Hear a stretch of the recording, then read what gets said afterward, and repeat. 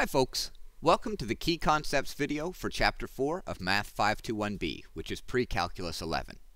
We're looking at quadratic equations here, specifically graphical solutions and solving quadratics by factoring. The standard disclaimers apply, and as always, there's a link to the downloadable notes in the video description below. Let's get going. We're dealing with graphical solutions first. So a solution to a single variable equation occurs when an x value produces the same result on both sides of the equation, or balances the equation. Now we've got all sorts of great analytical ways to solve some single variable equations. One of those ways that we can do it is graphically. So one way to solve an equation is to graph each side of the equation and look for x values of intersection. So let's take this linear example. We have 2x minus 3 equals x plus 2. If we were really at a loss, we could say, oh, I wonder if the number 2 balances this equation. Hmm. Uh, 1 doesn't equal 4. No, 2 isn't a solution. And we could go on like that. What we would probably do is say, okay, 2x minus 3 equals x plus 2. I'm going to add 3 to both sides and subtract x from each side. And that's going to get me x equals 5 as the solution. This other way that we can do it graphically is to graph each side. So y equals 2x minus 3 and y equals x plus 2. And especially when you have technology at your disposal, this is a really powerful way to solve an equation. So if I do y equals 2x minus 3, let's do this one in red. It has a y-intercept of negative 3 and a slope of 2. So up 2 over 1, up 2 over 1, up 2 over 1, and so on. I can make a line that goes through those points. And there we go. I should put some arrows on the end. Now let's see what happens if we graph this one. We'll do it in blue. This has a y-intercept of 2 and a slope of 1. So up 1 over 1, up 1 over 1, and so on. Okay, that gives us another line that looks like this. And you can see that those two lines intersect right here. And the coordinates of intersection are at 5, 7. That x value of intersection is the solution to the equation. Check it out over here. We had x equals 5. x value of 5 balances the equation.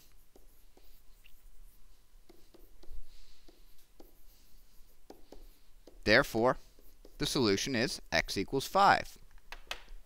And it turns out that for more complicated uh, equations, any intersection that we have is going to be um, a solution. So let's do that in the context of a quadratic.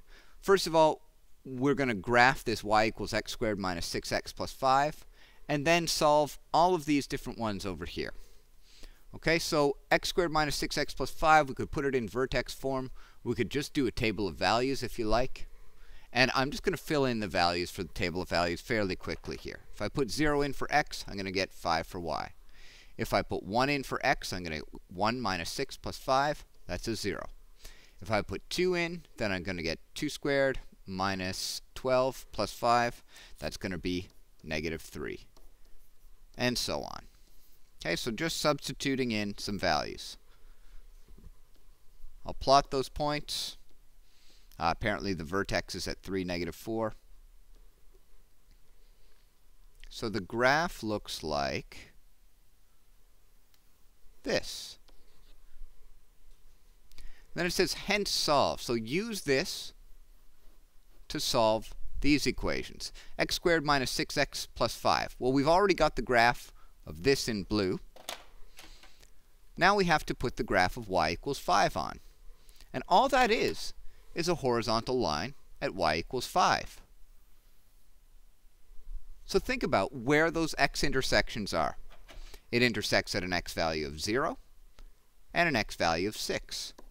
Those are the solutions to this equation. And you could try them. If I put in 0 into this, it would give me 5. So it balances the equation. Similarly, if I put in 6, I'd get 36 uh, minus 36 plus 5. It would balance the equation. Okay, so in this next one, if I want to solve that same function equals negative 3? Well, I just need the graph of y equals negative 3. Oh, there's the graph of y equals negative 3. And you can see the x values of intersection. They're at 2 and 4. The y values are not important here because we already know, uh, I guess, what the y value is going to be, negative 3. And the original equation only had an x in it. Let's try another one. In this one, we'll have to graph y equals 0. So the line where y equals 0 is right here. In this case, we're really looking for x-intercepts. And those are occurring at x equals 1 and x equals 5. Uh, for the next one, x squared minus 6x uh, plus 5 equals negative 4. Well, let me bring this down. y equals negative 4. Ah, there's only one intersection here. And that happens at x equals 3. If I were to graph the next one, y equals negative 5. That is never going to intersect. So in this case, there would be no solution, or no roots. And finally, we might look at a case where it's not just a straight line or a horizontal line. It's some other linear function that we're intersecting. So this is negative x plus 5. That means something with a y-intercept of 5 and a slope of negative 1. So I'm going to make that graph.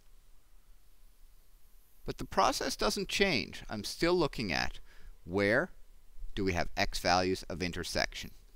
And here it's going to be at 0 and at 5. So if you have good graphs of your parabola and your line, then you can tell the answer to the equation pretty easily. You just graph them and look for x values of intersection. Okay, what we can notice, every x value of intersection is a solution. Solutions can be verified through substitution. Let's go back and try that in one of these. Let's say that we weren't sure about x equals 2 as a solution to this one over here. So I could say, well, if I sub in 2, will that really give me negative 3? Will it balance the equation? Let's see, 4 minus 12 plus 5. Does that equal negative 3?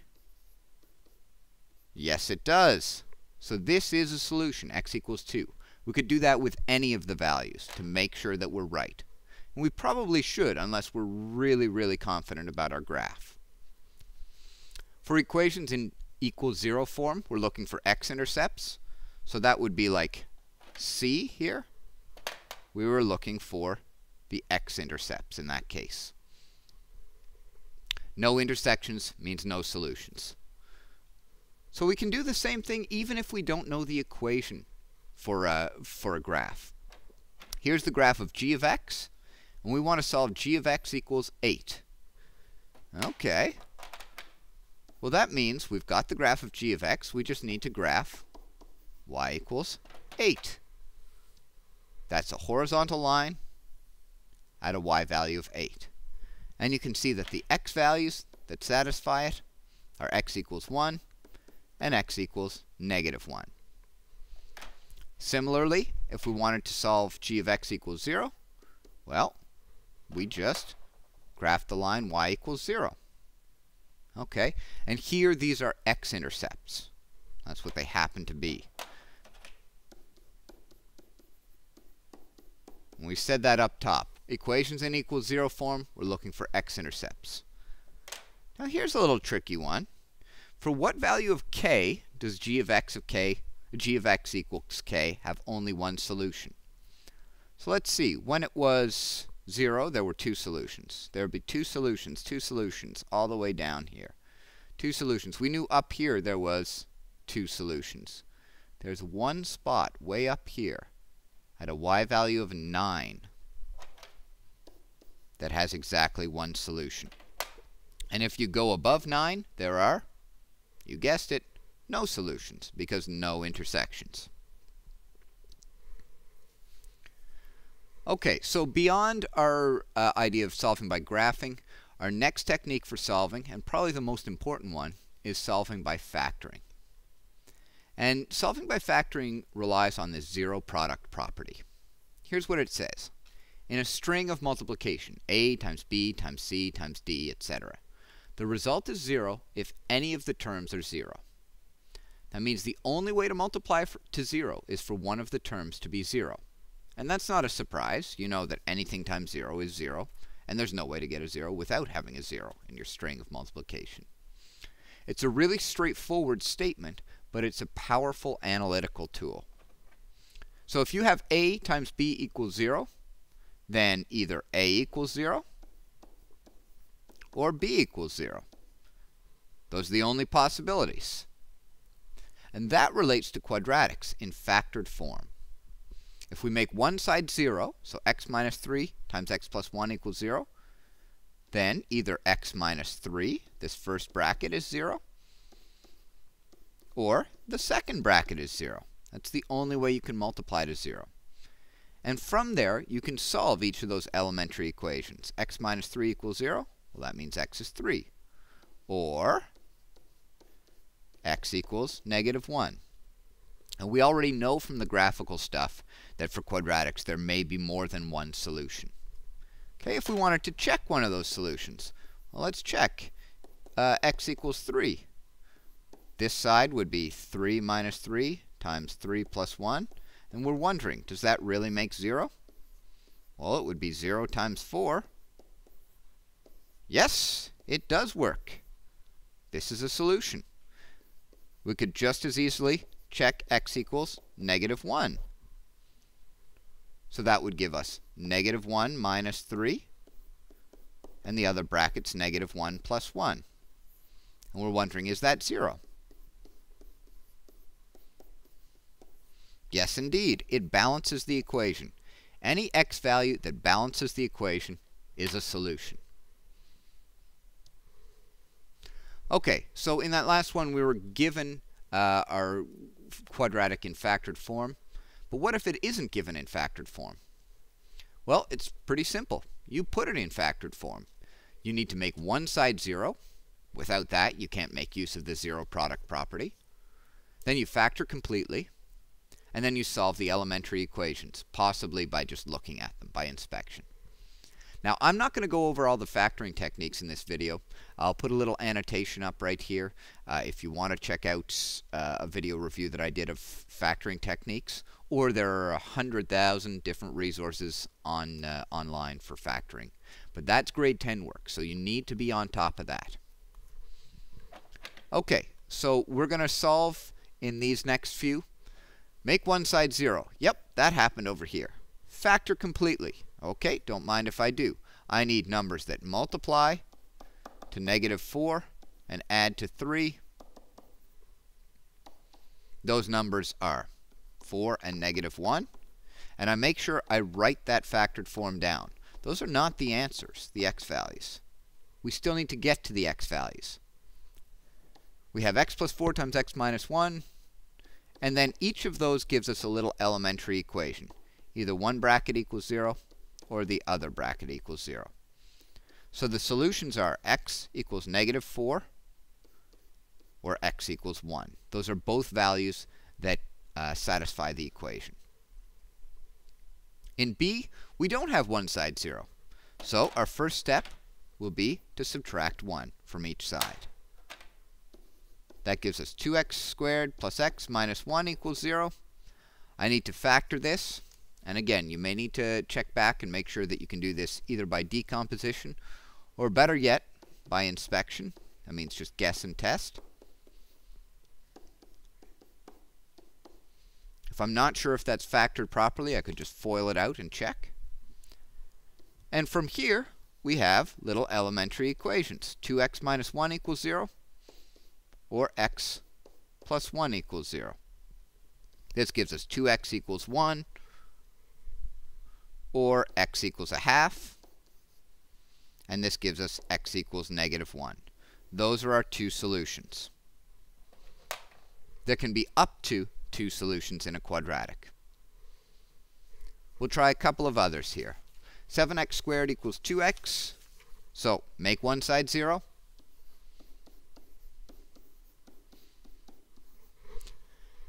And sometimes people get confused here. They expect a trinomial. But you don't necessarily need a trinomial. We just need to factor this. And the first type of factoring we always look for is a greatest common factor. So x is a common factor here. When you have an x by itself, you could think of that, if you like, as a bracket that says x plus 0. Or it's really its own elementary thing. So x could be 0. That might be a solution. That is a solution, rather. Or 7x minus 2 equals 0. And we're not going to pull out our calculator here. 2 divided by 7 is 2 sevenths. So there are the two values that make this equation true. And again, you can check them. You can put them back in. One last one. We have 4x squared equals 9. This isn't the only way that you could solve this, but if we're going to work on factoring by, or solving by factoring, let's solve it by factoring. We have difference of squares here. So we factor to conjugates. 2x, the square root of 4x squared, goes up front, and 3, the square root of 9, goes in the back. Each of those give us elementary equations, which we then solve.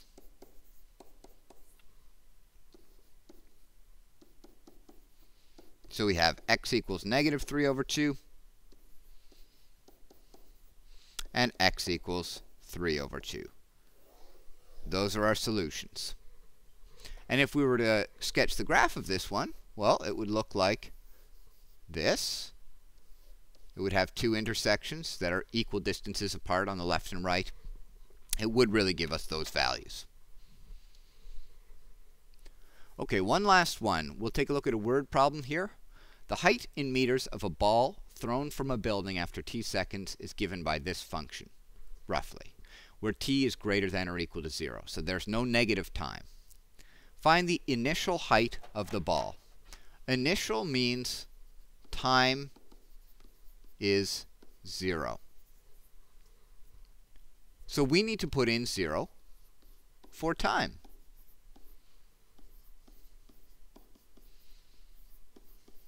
And see what we get. h at 0 turns out to be 35. We can say the initial height is 35 meters. If they give us units, we should use them. After how many seconds is the ball at a height of 75 meters? So here they have told us h is 75. That means in the original function up here, we're going to replace h of t with 75. And we're going to find the time when that happens. So 75 equals negative 5 t squared plus 30t plus 35. I'm going to put everything on one side. So I'll move my 5t squared over, my 30t over. I'll have 75 minus 35, or 5t squared minus 30t minus 35, sorry, minus, uh, plus 40 equals 0. Okay, from here, we can factor it. First kind of factoring we should do is take out a common factor. And actually, you could divide out that common factor if you prefer. If you don't want to see it anymore, since it's an equation, you can do the same thing to both sides. So that gives us t squared minus 6t plus 8 equals 0. You can leave the 5 out front if you like. It's not going to give you any solutions. And now we're ready to factor. This is a short trinomial, so we're looking for numbers that multiply to 8 and add to negative 6. Those two numbers are negative 4 and negative 2. And this is in equal 0 form. Okay, we have to put it in equal 0 form to solve our quadratic.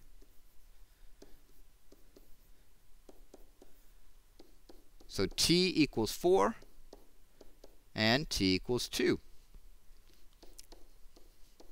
The ball is at a height of 75 minute or 75 meters. After 2 seconds, and 4 seconds. Now you might say, hold on, how is that possible? But think about the path of the ball. It's thrown up in the air. It starts at 35 meters. It goes up, and then it comes down. It could be at that height of 75 meters at two different places. So that's why we have two different times. One on the way up, and one on the way down. The last one we'll do here asks how many seconds does it take for the ball to hit the ground? So if the ball hits the ground, what is its height? Its height is 0.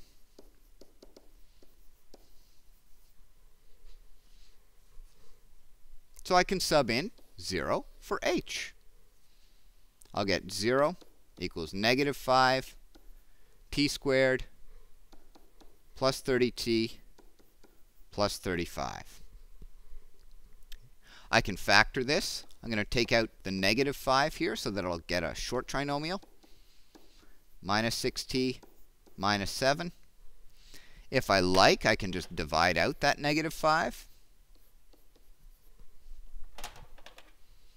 So I've got 0 equals t squared minus 6t minus 7. I factor this. I'm looking for numbers that multiply to negative 7 and add to negative 6. Those numbers are negative 7 and positive 1. Elementary equations come out of that. t minus 7 equals 0, so t equals 7. t plus 1 equals 0, so t equals negative 1. It looks like we have solutions of 7 seconds and negative 1 seconds. But hold on, is there such a thing as negative 1 second after you've thrown the ball? That would be before you throw it. That doesn't really make sense. And it tells us right here, t has to be greater than or equal to 0.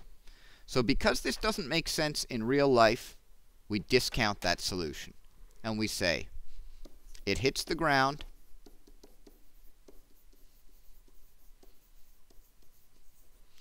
after 7 seconds.